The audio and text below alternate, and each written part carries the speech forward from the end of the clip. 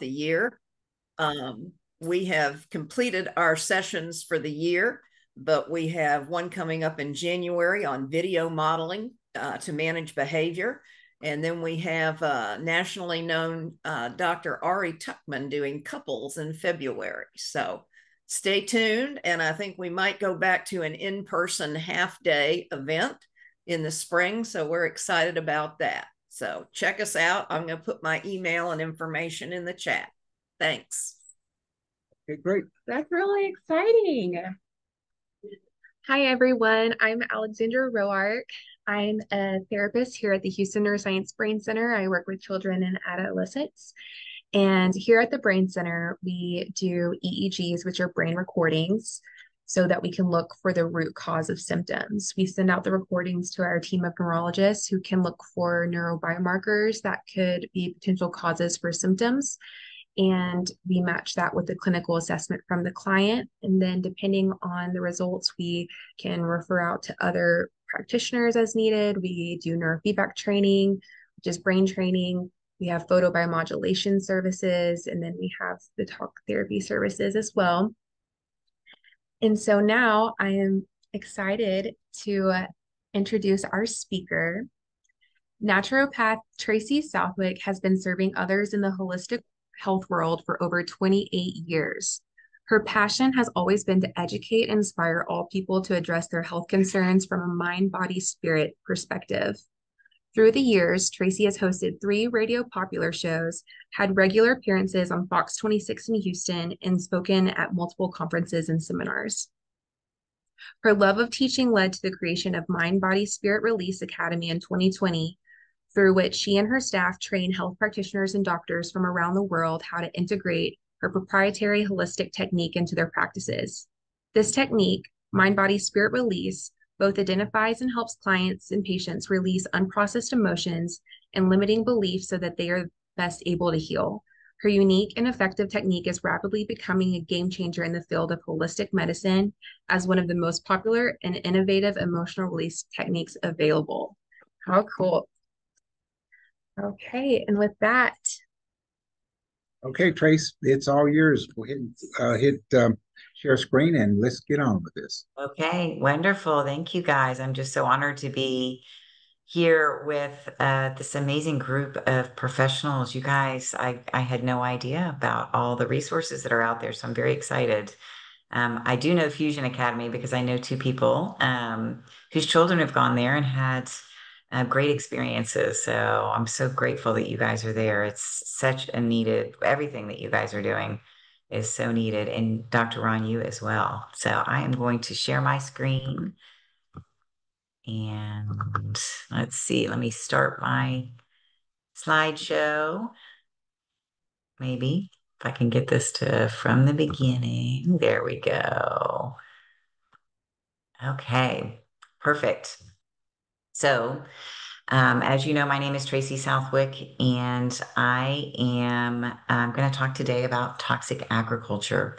So that's kind of a broad term, and I'm only going to talk about um, some things that um, you know maybe are hidden, you don't know about, you're not aware of. I do not want this to be something that scares people, and it will probably sound a little scary at first but it is that there are solutions and i think just knowing what the exposures are and knowing what um, you can do about it gives you so much more empowerment and can definitely help with um, what to do going forward and help your whole family. So i am going to spotlight there we go put me up in the corner here. I don't know if it changes your view but it changed mine. So let's talk first about um, just in general pesticides. So pesticides, I always thought that pesticides were different than herbicides, were different than insecticides, or which is herbis, uh, insecticides and fungicides. Pesticides is really an umbrella term. So it's actually a chemical that kills something that you don't want in your environment. So, molluscicides are um, considered pesticides, anything that's considered a pest. So, I'm going to use that term really broadly, and I'm not going to go into specifics about pesticides. I'll maybe talk a little bit about glyphosate because that's so pervasive and such an issue right now. Um, and atrazine is a big one too. If you guys uh, have read any of the studies on that, that's the one that actually turned, I believe, the male frogs female, which is really scary when you look at the endocrine disruption and, and what's happening with reproductive systems. Um, 2,4-D is is essentially Agent Orange. So, and then we have some other ones um, that are in there as well. So we're going to talk about where we're exposed, some hidden exposures of pesticides.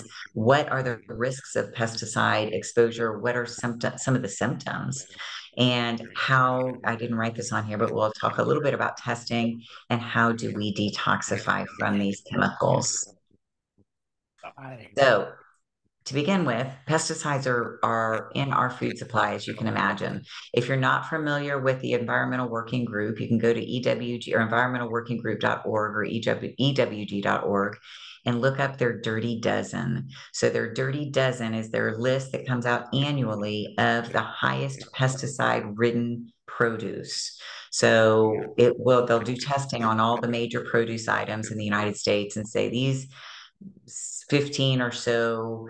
It used to be dozen. It's usually like dozen plus two or plus three account for probably the top 80% of pesticide exposure you'll get through foods. Um, it's usually very thin skinned fruits and veg and vegetables. So it'll be things like strawberries and lettuce of course, non organic is what I'm talking about. They also have something called the Clean 15, which the Clean 15 are the cleanest of the produce. So those are the ones if if you're on a budget, um, you really don't need to worry so much about paying the extra money for uh, organic versions of these. So, for instance, um, avocado is usually on that list, and so is bananas or so are bananas because they have thicker skins and they don't tend to absorb those pesticides as much. I always add coffee and peanut butter to that list because those are super highly sprayed pesticide foods that aren't obviously in the produce department, but they have a lot of pesticides. So if you're a coffee drinker, make sure that you get organic coffee. And if you drink decaf, make sure that it is um, water purified, so uh, or water distilled coffee. And the way that they they process it is using water versus formaldehyde, which most um, coffees that are decaffeinated they use formaldehyde, but organic will not use that. So we think about um, things that are GMO. So the big thing is this says it's non-GMO. Well, you can have a non-GMO crop that is sprayed with glyphosate very heavily. They discovered that glyphosate, which is Roundup, actually will dry out a crop really fast. So most grains can dry out really quickly and get to market a lot faster if they spray them with glyphosate after they have matured. So they can be a non-GMO crop, but they can still be loaded with glyphosate.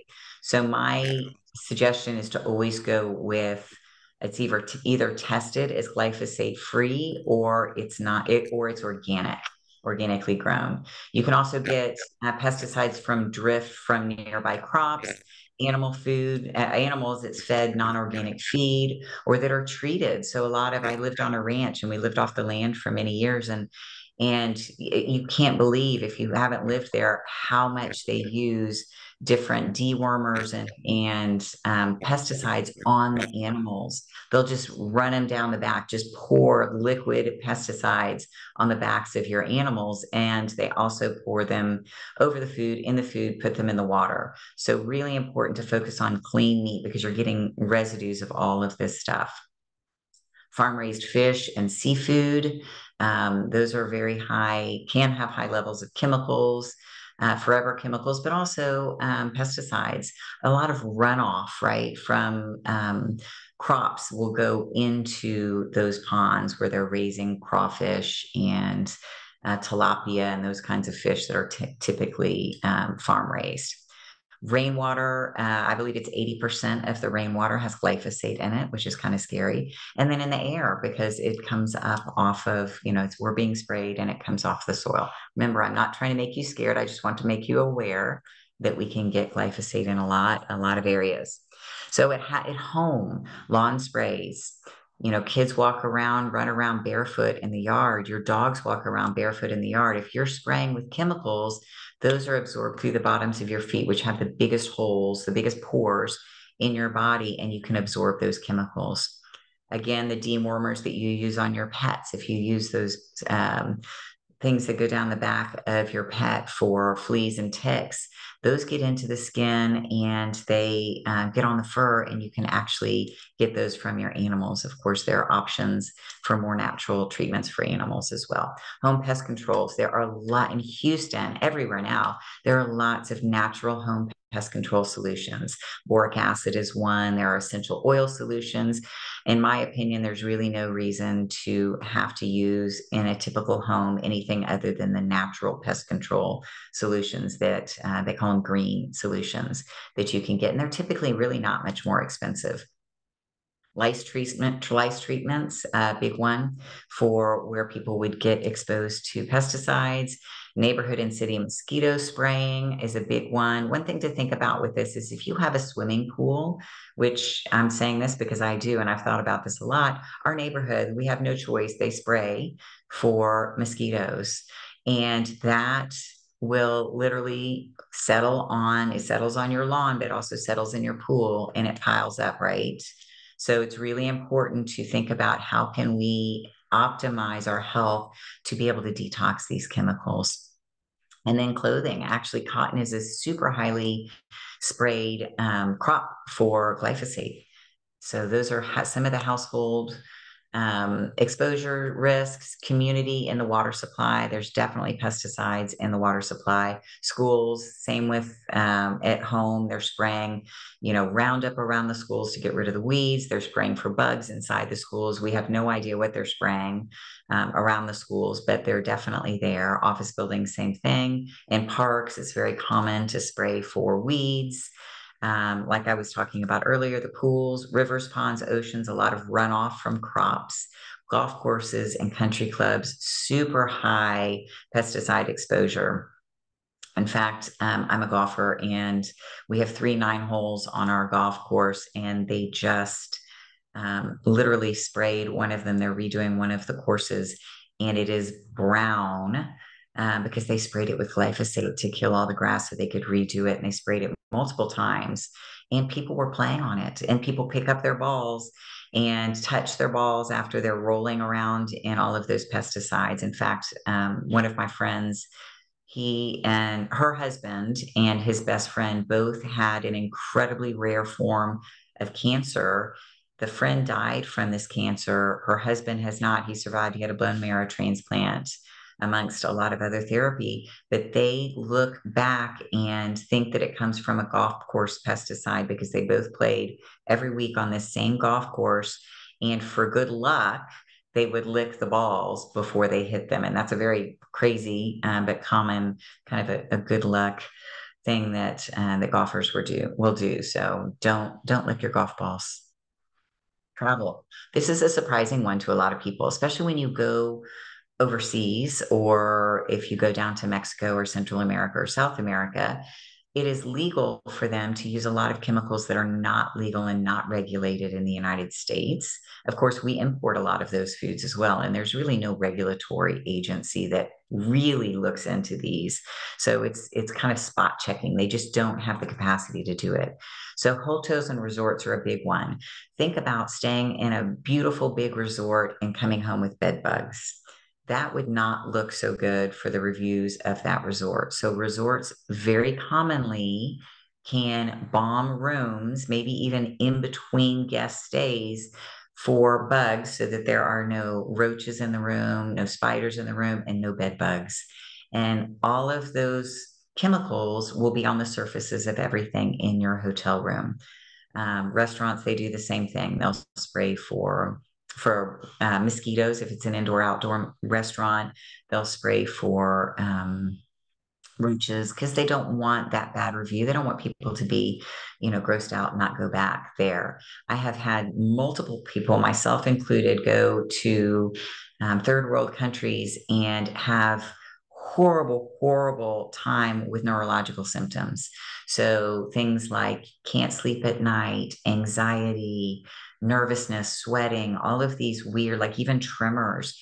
And it comes back to the chemicals that they're spraying in either the hotel rooms or the restaurants or the resorts. Um, airplanes, if you've ever flown to Asia, um, I, and this has happened to me several times, when you get on the airplane, they literally shut the doors of the airplane. They turn, they they have bottles of pesticides. They open all of the cabinets, so all everything's exposed, and they'll walk down the hall. They, meaning the flight attendants, will walk down the halls and literally fumigate the entire airplane while you're on it. So I'm sitting there with my kids going, cover your faces, cover your faces with the blankets. Um, but I've actually had flight attendants that do those routes come to me because they can't sleep. They have all these neurological problems. Their memory is going. Um, they feel horrible. They're exhausted. Once we detoxify them from pesticides, everything comes back to normal. And it's just they're being exposed to those chemicals over and over and over again. They do the same thing in, in cruise ships. They will spray uh, for a lot of chemicals. So, um, going from there, what are some of the symptoms? What are some of the effects? So my focus here, and I just have to say that is on long-term exposure. I'm not talking about acute exposure. You know, if you've been exposed to pesticides, don't wait a week and go to a health professional and say, "Can you detox me from this?" You need to call Poison Control Center or 911 and and figure out what needs to be done in the short term to mitigate some of that damage. Neurological, like I was saying before, very common side effects migraines, mood disorders, neurological dysfunction, neurodegeneration, memory issues, tremors, dizziness, seizures.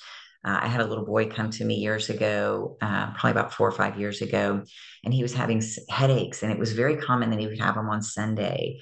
And I went through my process of of doing some. Uh, we do bio bioresonance testing, and um, up with pesticides. So I started questioning the mom, and she said, Well, every Sunday night he goes bicycle riding with his friends, and that's when they spray for mosquitoes in the neighborhood. So we kept him home Sunday nights, did some some detoxification, and he was having severe headaches every single Sunday, but he'd have them during the week, but it was worse on Sundays. And uh, within a month, all of his issues were gone. That's a very quick, children detoxify really quickly in, in many cases. We kept him on that for a little bit longer than that, but his headaches totally went away. Uh, gastrointestinal, obviously, this can come from ingesting them, the pesticides. Leaky gut, um, glyphosate's famous for that, for causing leaky gut, bloating, pain, cramping, loss of appetite, diarrhea, vomiting pretty common. Mitochondrial dysfunction is a big one. So if you look at the Krebs cycle, you look at the electron transport chain, a lot of those pesticides are toxic to the energy production chain and they're going to cause a lot of problems with the ability for your body to heal to to create hormones so your body if it doesn't have enough mitochondrial energy if it doesn't have enough atp you can't produce um, the energy to heal, the energy to make hormones. You can't sleep often at night, which makes matters worse. You can't heal and recover very quickly. You can't build muscle. So, a lot of that muscle weakness. And then other things like chronic cough. If you're breathing them in, it can cause asthma, cough, skin rashes, tingling, itching, allergies, liver issues, because your liver and your kidneys are both detoxifying or trying to move out these chemicals and like um, many of them, especially glyphosate, there's a heavy link with cancer, different kinds of cancers. Um, one of the things just to point out here is when we look at the body and you're you're dealing with a pathogen in the body, whether it's you know a, a long-standing um, viral infection or bacterial infection or parasitic infection or fungal yeast infection, always there is an underlying toxin, and oftentimes it is pesticides. So, if you're fighting an infection, so if you're fighting this, can't get rid of this infection, look more deeply into what could be underlying that infection and get rid of that. And oftentimes, the um, the pathogen will resolve itself or can more easily be resolved. So, how do you find out? There is there are urine and blood tests. This is not my forte. I'm not a functional medicine doctor. I work um, with a lot of uh, bioresonance type technology, uh, bioenergetics technology. We do a lot of energetic testing in my clinic, but there are options for urine and blood testing. There's a, an at home, this is easy to, to search for online, glyphosate skin prick test. That's only going to look at glyphosate, um, but 50% of the herbicides out there are glyphosate based. So, or, or glyphosate, it's owned by one company. Um, bioenergetics testing, which is what I do.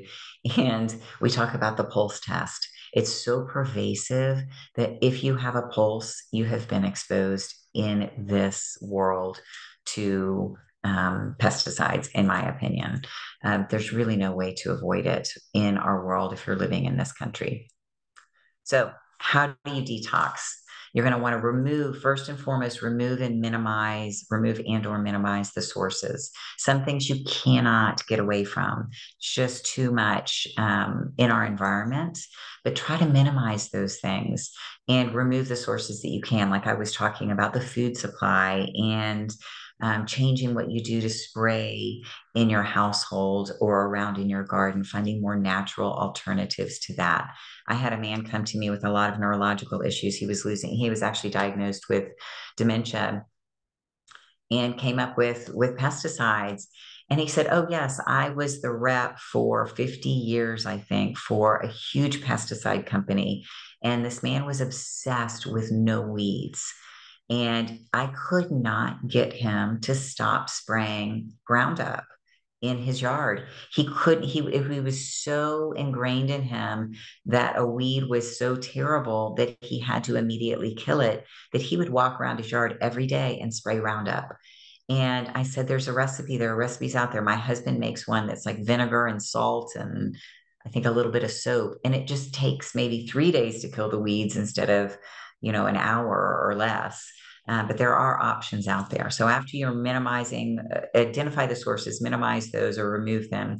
You want to optimize your energy production because if you're not producing enough energy and you start trying to detox from something, your body may stir it up a little bit and just deposit it somewhere else. So if you don't have the energy to move it out of the body, and if you don't have the ability to move it out of the body, sometimes you can just make things worse. You want to reduce inflammation at a cellular level because if your cell membrane is inflamed, you can't move good nutrition into the cell and you can't take toxins out of the cell. So you've got to take steps to reduce inflammation, open the drainage pathways. If you're not having regular bowel movements, don't move into detoxification because you're just going to auto what they call auto intoxicate. So you may move things into the gut you're not moving them out, you'll absorb them again and then move into detoxification. So here's some tips. It's a marathon, not a sprint. Even though I told the story about the little boy who was better in a month, we still kept him on it for three months. The longer you've been exposed, the longer you've had symptoms, the longer it's going to take to move those things out of the body. The general, I don't, I don't want to call it a rule, but the general guideline that I was taught you know 25 years ago when i got into this is if you've had symptoms for a long time don't expect to be fully through the detox process for it'll take 3 months plus a month for every year you've been dealing with it. So it can take longer it can be shorter and you can have a lot of benefit and a lot of symptomatic relief in that process.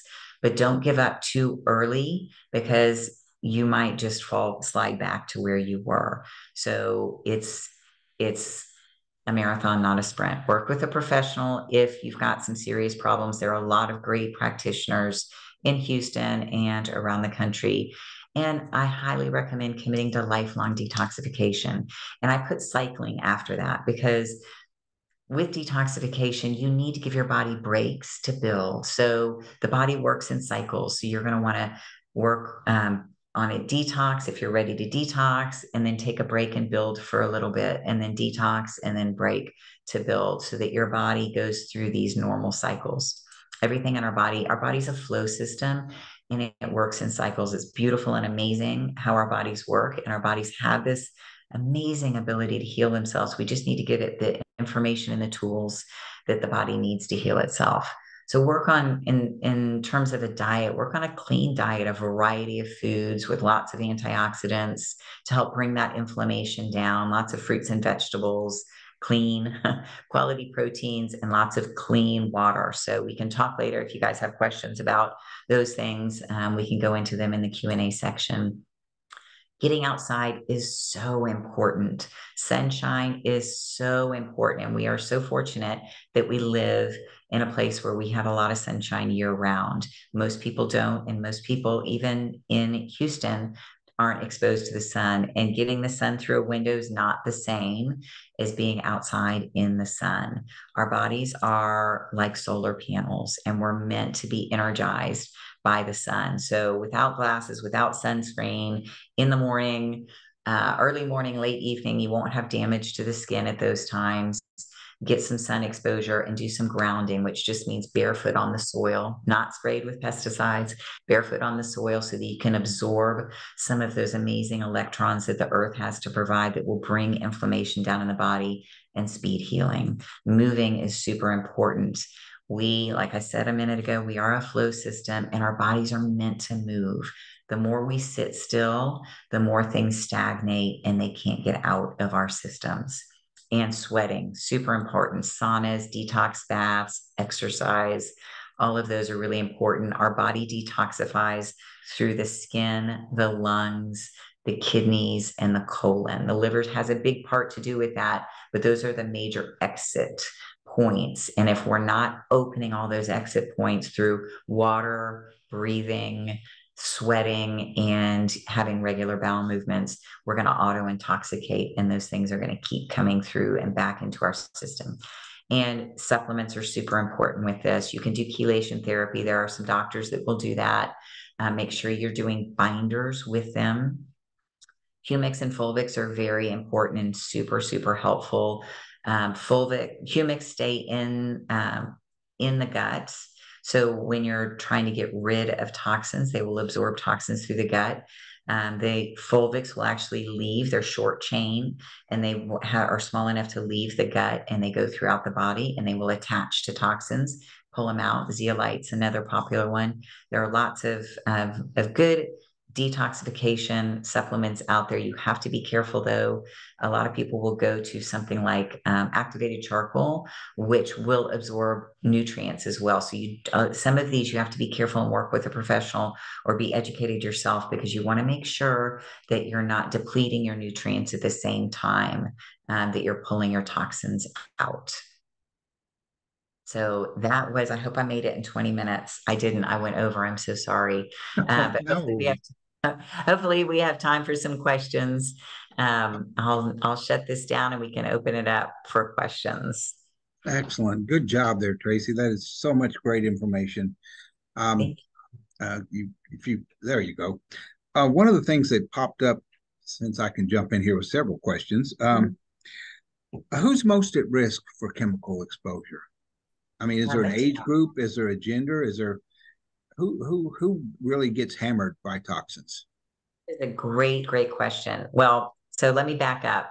And I didn't talk about this a little bit. Children very much are because they just um, they're smaller, right? So they can say, as an adult, the acceptable va- uh, amount of exposure to this chemical is whatever 10 parts per million but think about a child or a baby they're they're so much smaller. So 10 parts per million is 10 times as much 10 times as toxic to them. So the smaller you are the more inclined you are to absorb those things. Another thing um, is somebody who doesn't methylate well uh, if, and I highly recommend getting some genetic testing done uh, for methylation. There's there are several genes that are important with that, MTHFR and COMT, and you're very familiar with uh, many of those. So if you're not methylating well, your body can't detoxify well. So for instance, I'm not a very good methylator, and if I'm exposed to mercury and I had a ton of mercury fillings in my mouth, I could only detoxify 20% compared to someone who methylates well. So my body will hold on to those. So I have to work a little bit harder, a lot bit harder to move those metals out. And in saying that, um, a lot of these pesticides actually have mercury in them and aluminum in them. If you look at the expanded name, you'll be like, oh, that says mercury something or aluminum something. So they're also, it's the chemicals, but it's also the heavy metals that are adjuvants or um, carriers or whatever they're doing. I have no idea why they put some of these chemicals in, but it makes them more effective. And then it, the more we're exposed over a long period of time, it's the buildup um, of those chemicals. And if our parents were exposed to them, so we had back in the um, 50s, that was the DDT generation. So they were exposed to DDT, and they've already proven with studies in mice and rats that those toxins are persistent for four generations. So we're not four generations away from DDT. So we probably have DDT. It's still in the soil, but we probably have it in our bodies from passed from our mothers. And then after the DDT generation was, uh, what was the next one after that? Um, oh, lead. So lead in paint. And then we had the mercury generation. Um, and now we have the glyphosate generation. So it's cumulative. So we have to be, and it's not going to get any better. And I'm not saying that to scare people. I'm just saying that to make people be aware that this needs to be part of our lives so that we're not having that constant buildup of, of toxins chemicals that haven't been tested, and they certainly haven't been tested cumulatively. Well, I think that's really important. I know that um, a colleague of mine, Enzo Grassi, uh, did some of the really great research on the causes for autism. And autism, uh, it seems that what they were able to determine when uh, it was they tested mothers who had one autistic uh, child and one who had no autistic child and um, uh, uh, the other child was not autistic. And what they found is chemical exposure of the mothers while they were carrying their children. And so we wonder why we've had such an increase of autism over the past 40 years, 50 years. It's probably because our environments have become more and more toxic, plus the cumulative effect, like you're saying. That's that's really that's really great news. But my biggest concern is where do you start? What's the simplest way to start? Because there seems to be so much out there that uh, is um, causing us issues right now. But I mean, this is pretty overwhelming. I know it is. Um, start in your home. Start in your home. Start with, mm-hmm. um, you know, what chemicals are you possibly using in your home, and how can you change to something healthier? So that would be number one. Um, if you think about pesticides, so people are still using hand sanitizer all the time. Most hand sanitizers have pesticides in them just like our feet, our hands have a lot of have a big holes, big pores, and we absorb a lot of those chemicals. So start by looking at those kinds of things, um, antibacterial soaps, those kinds of things. All of those are chemicals, but they also help um, reduce our immune immune function. So foods that you're eating, water that you're drinking, water is huge. Um, Houston water is, I mean, it's got radiation in it, it's got arsenic in it, it's got pesticides in it. It's, you know, it, there, there, there's an array of different um, kinds of water filters that you can get, but anything's better, in my opinion, than Houston tap water, unless you go to the bayou and just scoop up water there. So you're getting, I would uh, at least do something to filter out some of the chemicals in the water. And you know you can go all the way to distilling which is the cleanest water that you can get. Um, but you have to add minerals back to that. So there's kind of like i said there's a spectrum. But anything in my opinion anything's better than than just you know pulling it out of the tap. And that's a great place you can um, make huge changes is is just even just focusing on the water one uh, comment about the water, though, we're picking up a lot of uh, microplastics in urine uh, from bottled water, I guess, correct? Yeah. So its filtering is better than bottled. Yes. And I would, you know, there are some great filters out there. Um, yeah, filtering is better than water. Sometimes the filters, there are a couple things with bottled water. Sometimes, um, I mean, it is from microplastics. They let it sit, especially in Houston. It's sitting out in the heat, and the heat is melting essentially the plastic into the water. Um, a lot of those bottled waters are just tap water. And they say they run it through a reverse osmosis unit, but when they do, they don't, they're probably not changing the filters very often. Um, so, you know, they're going to get their biggest bang for their buck. So I just don't trust um, those as as much. Um, glass is going to be a lot better option if you're going to do bottled water, and sometimes you have to do bottled water. You're out and about, um, but I try to bring like a a glass or or stainless steel is better than plastic um, water bottle, and I fill it up at home with my purified water and bring that wherever I go, which sometimes is not the easiest. Have you I saw some articles a couple weeks ago saying that something came out where the Brevo filters weren't truly working. Did you see anything about that or know anything?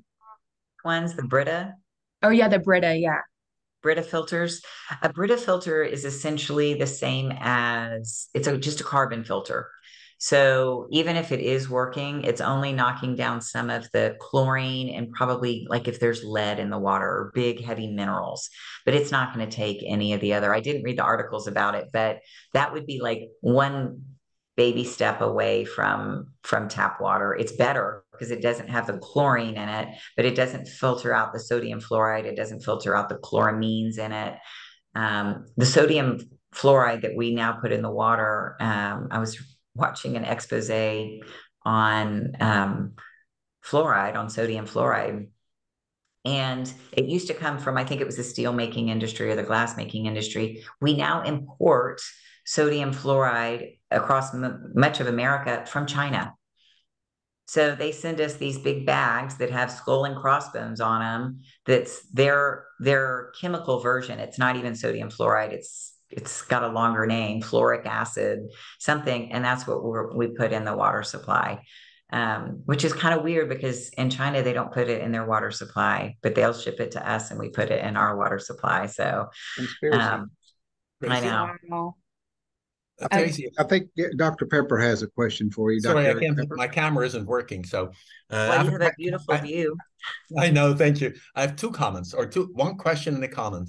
One is uh, with my students, we often deal with the process of water, and I agree with you totally that you should do it out of glass bottles. What we I often recommend for them because they don't they sort of look at me with disbelief at times, not quite, but I just say, okay, put your your plastic bottle in the sun for a day, and then drink that water, and it tastes horrible. And so now you know the difference subjectively. I'm not recommending drinking the water, but that's a kind of experiential way. But the next that's question, idea. The next question I really ask is the impact of all the pesticides or all these substances, whatever they may be, at the different developmental levels and growth spurts, in, in, both in utero and later on again when we have these major changes during uh, puberty. Uh, because I'm thinking of the drug thalidomide, which only was which only had a big effect in the first three months. I think I forgot the exact. Thereafter, it's totally. I won't say safe, but basically say for the for the mother. It's only as a very short window of time when it made the teratogenic effects. Is that you have anything like that about any of this? You know any of that? You may have covered that because I came in late. No, I did not. And that's a great point. I thank you for sharing that about the water. I'm going to use that um, for sure. The um, I don't know, and to be honest, I don't know that there are a whole lot of studies, but there might be about that. It would make sense that it would be worse in certain trimesters. Uh, I don't think that most mothers are. Um, it's kind of like alcohol in certain in different trimesters, it will have different effects as well on the development. Um, but I would imagine it's it's very very similar, and you know, no mother's going to go out and be purposely exposed to it. So it's those kinds of things are probably hard to track in some ways because a lot of women don't know of their exposure. Um, you know, they don't realize that they walked outside right after the mosquito truck came by and sprayed them with, um, you know, and sprayed the neighborhood with a mosquito spray. I, as a kid, and maybe some people on this call did the same thing. I used to ride my bicycle after the mosquito truck while it was spraying as, as kids. Yes, Carolyn. Um, and, you know, I'm sure that didn't do much for my development either, but I imagine different phases. That's probably um, highly impactful at during, during certain phases, especially going through puberty as well in utero for sure, but going through puberty as well.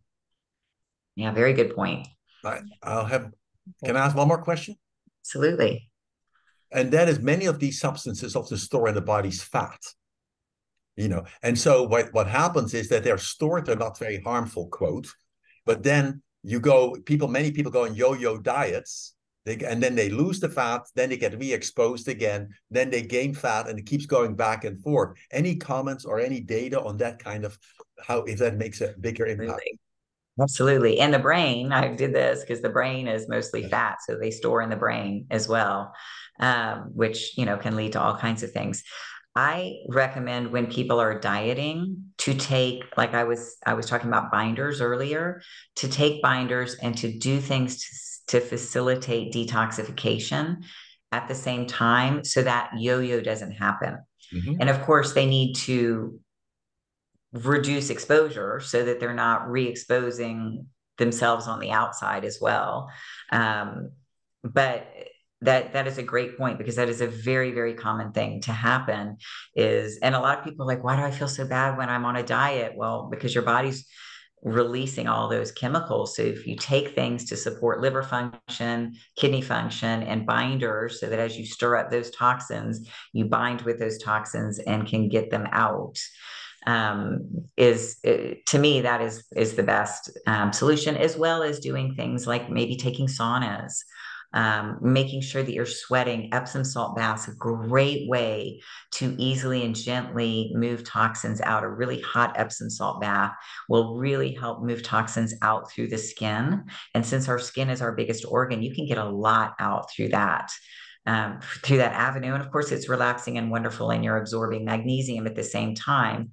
But for people who do Epsom salt baths, one one suggestion I have is one use organic Epsom salt. Don't get the kind that's like uh, has smells to it because a lot of times they add chemicals. So just get plain. You can add your own essential oils if you want. Uh, um, organic Epsom salts and rinse off after you bathe. Um, don't just get out of the water because that water is toxic because you've been detoxing through your skin. So make sure that you rinse off after you finish that um, Epsom salt bath. But that's a great thing that anyone can do at home just to help move those um, gently move some of those chemicals out of the system. Excellent. This is so much, so much to take in right now. And we looked at on your website for your filter recommendation, and they're not available. they must be popular. So, they're all sold out. Uh, yeah, there um, there is another company that um, I just ordered a filter for from. Um, is called at clearlyfiltered.com. And I, am saying that I have not researched this 100%, but people that I know that have researched it and are very, very good with um, all natural things that is uh, have recommended is clearly filtered. And what I just ordered today, I ordered a, a hand like a jug filter um, and this takes fluoride out, uh, sodium fluoride, and the pesticides and all kinds of stuff. It's a really good filter. It's a slow filter because it's got to filter through all of that. But um, they also have water bottles that are either glass or stainless steel and uh, that have a filter in them and you can pour you know the water in it will filter as you drink out of the straw. And you that's a great one for traveling because you can just use the faucet anywhere you go and you have your own purified water. Um, they're having a i'm saying this i have no connection with this company. I'm looking at my phone because they are having a sale uh, black friday sale and the code is clearlyfiltered.com and the code is bf20 and you get 20% off. so you might want to look there and they have they have not whole house filters, but they have under the sink kind of filters that you can get to.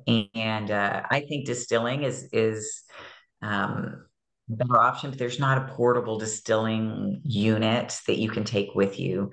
So that's from what I know, that's the best kind of portable uh, water filter that you can use. And if you've got kids, you know, and they're they're taking their water bottle to school, they can fill it up at the you know faucet there as well.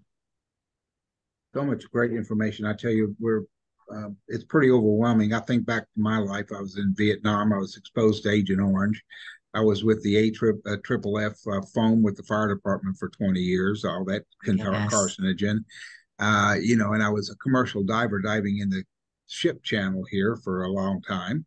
And I'm just thinking, you know, if I went to detox, it could kill me, you know, because I got so much in there. I was thinking about losing weight. And I, I'm going, oh my God, if I lose weight, I'm going to be, you know, detoxifying myself. I needed to stay in the fat it's uh, frustrating. You know, it's like uh, I know all I can do is help to save the kids. I guess. You know. No, no, no. You can definitely make you can definitely make changes and just do it. You just do it slowly. And in that process that I outlined, where you optimize mitochondrial function, you optimize, bring down the cell membrane inflammation. Then you make sure that the drainage funnel, so you make sure that your all your drainage is open and you take binders and the right supplements, you can um, you can absolutely detox and even get those chemicals out. Even though I have the MTHFR gene on top of that, yep. right? I I have it. Yeah, I have it. Um, you just have to, you know, make sure you're taking the right methylation products. It can be done for sure. Well, good thing I know somebody. right. well, we have about a few more minutes of discussion, but um, before we continue, I just want to let everyone know that this is going to be recorded. This has been recorded and we will have it up on our HNBC YouTube by tomorrow. Um, a link should be sent out to y'all as well. Our next discussions is going to be on Wednesday, December the 13th from 12 to 1 Central Time. Dr. Ron and I are going to be talking about how to deal with holiday stressors and setting boundaries and ways that you can help manage your peace throughout the holiday season. And so we'll send out a registration link for that one as well. Um, so yeah, if you have any more questions, feel free to pop in before our time ends. Tracy, what was the name of that company again? The water you were talking about? Clearlyfiltered.com. Lee? Clearly, clearly. Oh. I'll put it in the, I'll put it in the clearlyfiltered.com. Clearly filtered. Yeah. And and BF20 was the code. Yeah filter. I have a question. It, it's not, it, it's kind of related, but um, I, I don't know if this is true or not, but um, I read that fat cells, um, that you're born with like a certain amount of fat cells, and what happens is they grow. So when you're losing weight, they shrink. It's like they don't disappear. They is that true? Um, I mean, I, I know it's a little off subject, but no, yes. Well, we were talking about fat cells. That's what I understand. I mean, people will do surgeries and things like that to to take out fat cells. Um, but uh, that's that's the understanding that I have too. So they just fill up and they'll fill up with toxins, um, and then they will collapse down um, as you lose lose weight. And I think there's a part in point in your life I could be wrong, but it's through puberty where it it can shift that number, but I'm not 100% sure about that. So okay, well that's good to know. I I wondered about that. I thought, darn, I thought they just disappeared and evaporated or something. well, I think they get small enough that it doesn't matter, but that's my understanding. Um, I I could be wrong. Um, there there might be a doctor on here that knows that answer to that. No, I think that's what I've heard as well in the past. And, uh, you know, but uh, like I say, there's so many fat cells in your body, and your brain is primarily made up of fat. So I had one uh, last story. I had a, a little boy He was born in the United States, but his parents were from Egypt. And when he was uh, two, three years old, they went back to Egypt and they, uh, he got into some insecticide, drank it, had to have his stomach pumped and everything else. And then at six years old, he started wetting the bed.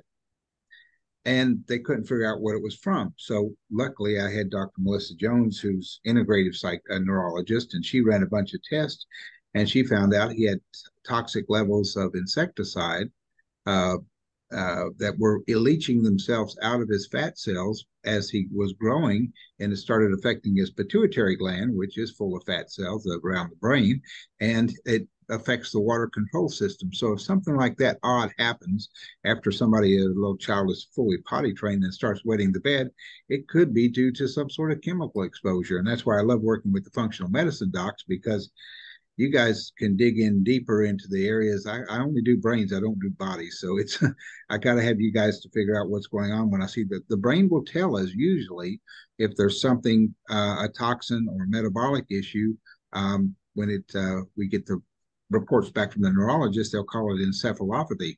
And it's amazing the toxins we have here in Houston, uh, from the mold from Hurricane Harvey to the uh, to the lead to the. I just had my first arsenic come back in a young child the other day, and it was like, how in the world did he get arsenic? But now you tell me it's in the water. okay, well that could be it. Some kids, is it true? Some children can't chelate as well as other children. Absolutely, absolutely. And and if they're bathing in a hot tub, you know, they're absorbing it through their skin. Um, there's just a lot, you know, there's even radiation. I don't know if I said that in the water. And 80% of the water in Texas has radiation, or 80% of the people drink water with radiation in it. Radioactive elements. I don't mean like EMF radiation, I mean radioactive elements. So there's a lot. Well, I guess we're pretty lucky we survived as well as we do, but uh, I do think there are things we can do better. But thank you so much for your time. Thank you for everything. The, the, knowledge I think is great, uh, stuff that I wasn't aware of. But I'm so glad to have met you at one of these functional medicine meetings, and uh, let's continue the work out there. Wonderful. Thank you all. And thank you all for being here. And thank you, Dr. Ron, for having me. Yes, ma'am. Thanks so thank much you for your presentation. I appreciate it, Tracy. Thank you all so much. All right. Have thank a happy you. Thanksgiving. It was Thanks. great. Thank you. All right. Bye bye, guys. Bye.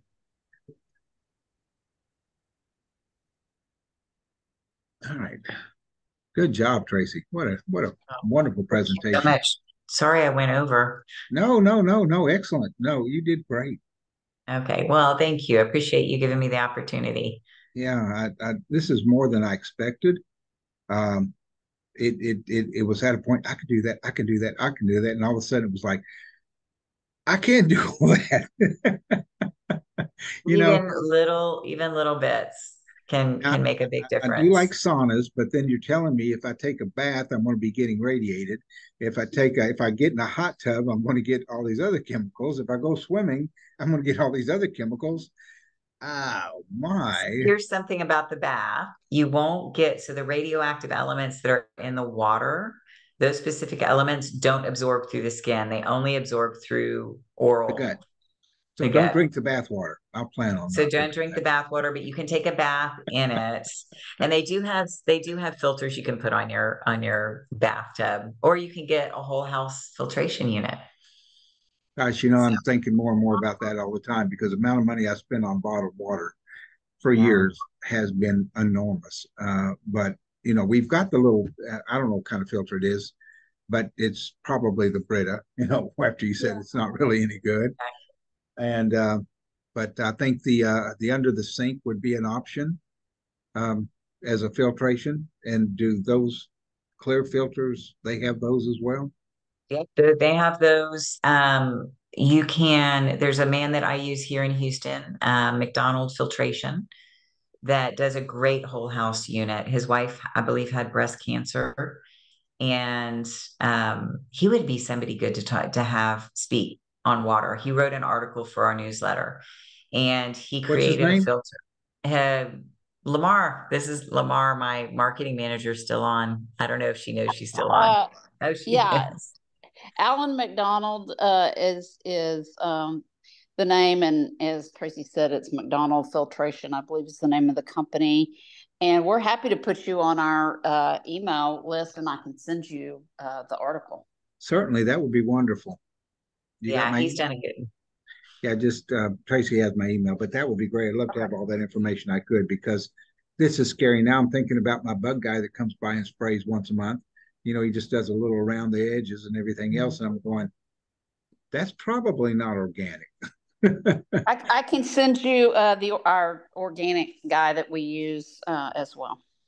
Yeah, yeah, send that for me years. because I got a cat, and I'm, i know my cat sniffs around that part, and it's getting exposed to it, and so that's probably not good. I I hate bugs. I'm kind of like the weed guy. I don't want a bug in my house, but but not to the point I'm hurting my killing my cat, my wife, you know. So no, it, it's uh, you know, it's all those little things, and we don't think about them, right? Because it's just part of our lives. No. And um, but even making those two changes will be excellent for you. All right, I'll work on it, and then I'll come back to you for more. Okay. I appreciate it so much. You Sounds want to come good. visit us sometime, okay? I would love to. I would Please. love to. I want to see it. Isabella or Kristen can set it up and just come out and bring staff or whoever you'd like to. I'd love to show you around. Sounds great. Well, All thank right. you. I appreciate it so much. Have a great Thanksgiving. Bye, Tracy. You too. Thanks. Bye bye.